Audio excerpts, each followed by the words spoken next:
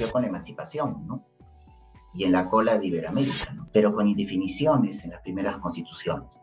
Las primeras constituciones de 1823, 1826 y 1828 serían pues las constituciones de la etapa de consolidación de, la independencia y fueron pues este, determinantes ¿no? para decidir al final ¿no? que seríamos una república, eh, un Estado unitario y un modelo inicialmente presidencialista. El Congreso peruano, pues desde sus inicios representaba las corrientes liberales, es decir, un legislativo fuerte, ¿no? Eh, a cargo ¿no? de las élites, élites eh, intelectuales, ¿no? más bien afrancesadas, frente a las constituciones conservadoras que, se pretendía, que pretendían un gobierno autoritario.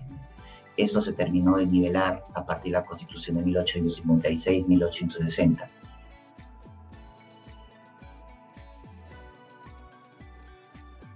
Como todo parlamento son tres, representar, fiscalizar y legislar. Pero permítame decir lo siguiente. La representación es el principio que sustenta las otras dos funciones, la función fiscalizadora y legislativa. La representación, por tanto, es la principal función, es el nexo que une los intereses de los ciudadanos con sus políticos.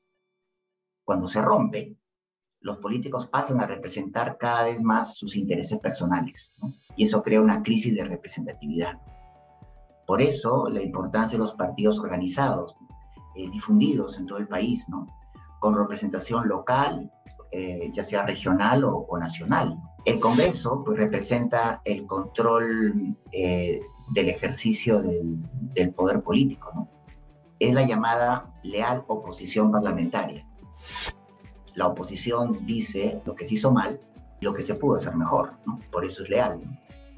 Contrariamente a lo que se piensa, eh, la legislación ocupa el tercer lugar, ¿no? Por ser la menos importante, sino que solo se deberían discutir eh, aquellas leyes o proyectos de ley que sean realmente importantes, vitales. Y esto se basa en tres preguntas. ¿Cuáles son las leyes que faltan? ¿Cuáles son las que funcionan? ¿Cuáles son las que merecen corregidas o derogadas? Es decir, el Parlamento no es una máquina de hacer leyes.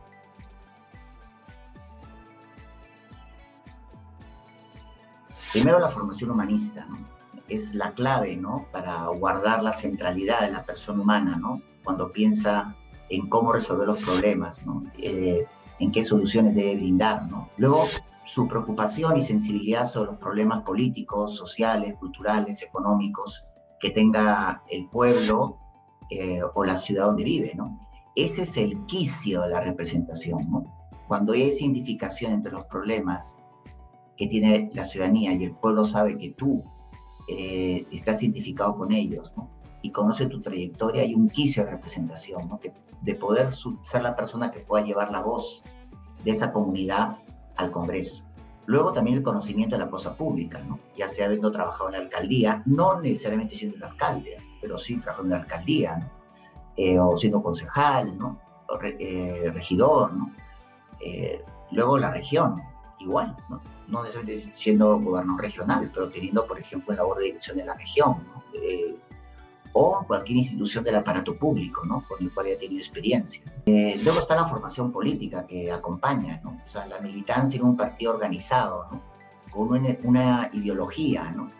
No solamente que darle, no solamente tiene que ser un cuadro de técnicos, que son importantes, son los cuadros de gobierno, sino con una ideología, ¿no? Que dentro de la diversidad de opiniones que se tenga en un partido, porque hay una democracia interna, eh, permita la coherencia de todas las políticas públicas que se desea implementar.